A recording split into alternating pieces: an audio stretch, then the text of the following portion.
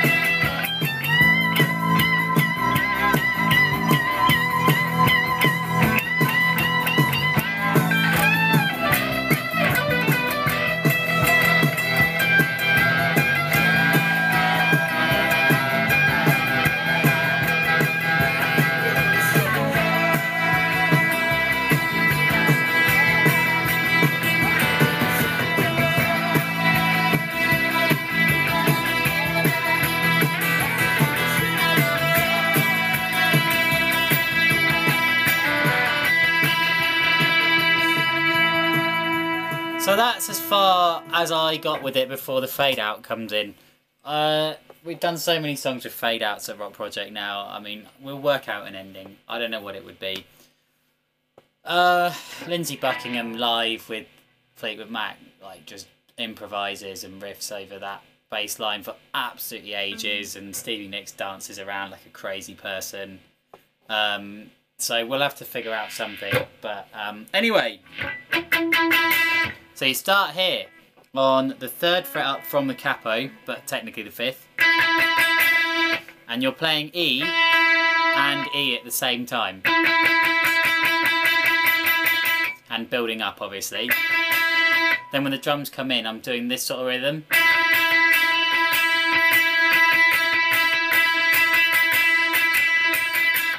Then you're going to shift it up an octave. So I'm now doing E on this fret.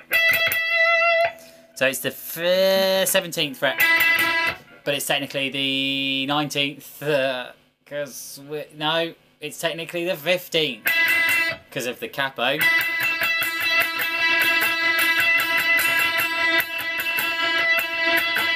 Bit of vibrato to give some sort of movement. Oh, out of focus. There we go. Right. So once we've got up to this um,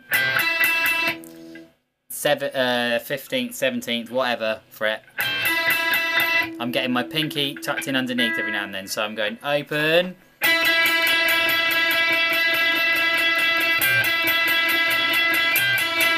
Then you're going to go like this. So this is on, that's on the B string now, what I just did there. So you go...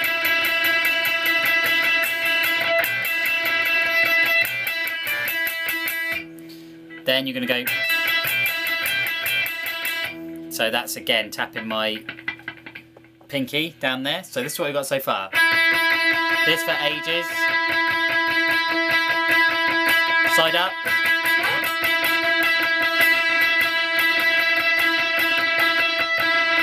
Pinky.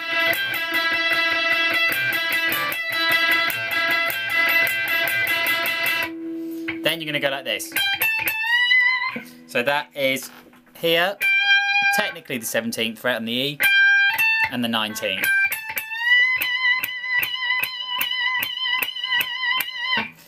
So that is a full bend and you leave it up there for ages.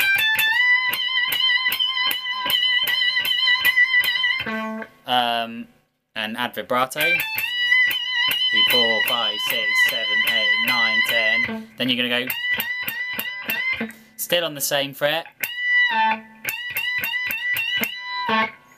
So all of what happens on the 9th, 17th and 19th fret is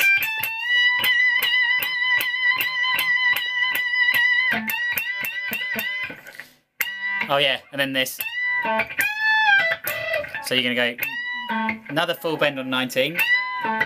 Then you go over to 20 on the B string now, and you pull off to the 17th. So you got.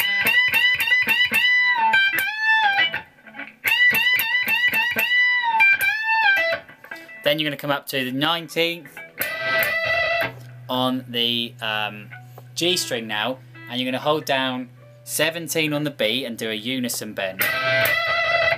So that's when you're doing this note and bending up to it. This bit, next bit is tricky. So you got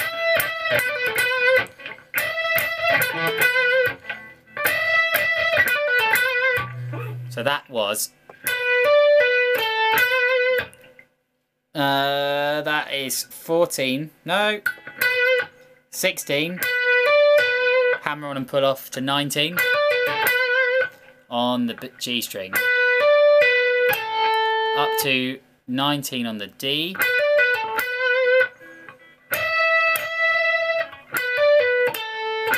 And then back to 16 on the G.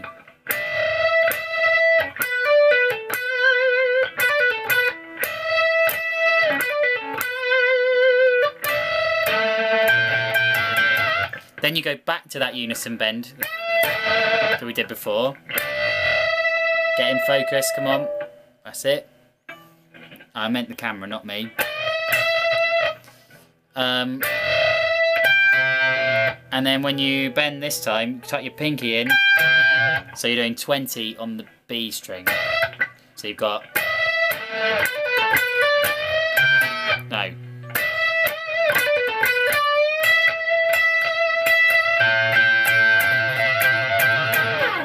Uh, you kind of just add it in whenever, really. I mean, like, um, so if I do that.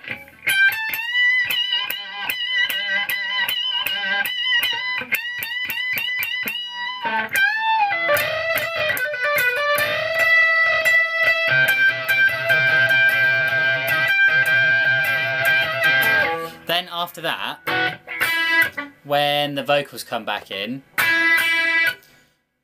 uh, well, like after I've done that, really all that happens after that in the track at least is Lindsey just starts riffing around here again.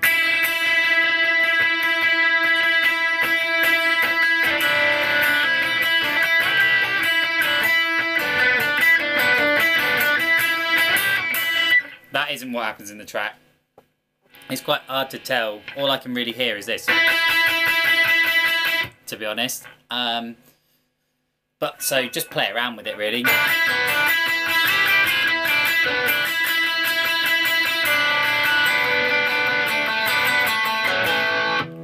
that went really major. Didn't mean it to. Um, but yeah, so that's basically it. Um, the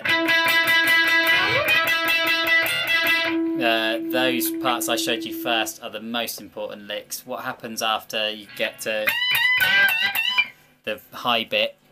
Come on, is um.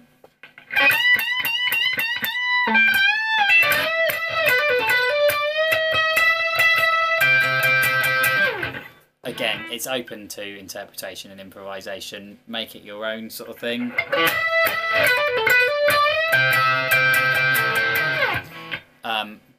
But it's a really, really fun solo to play that one. Um, but yeah, if you have any questions and you want me to show you any licks in more detail, um, then let's do it in the lesson.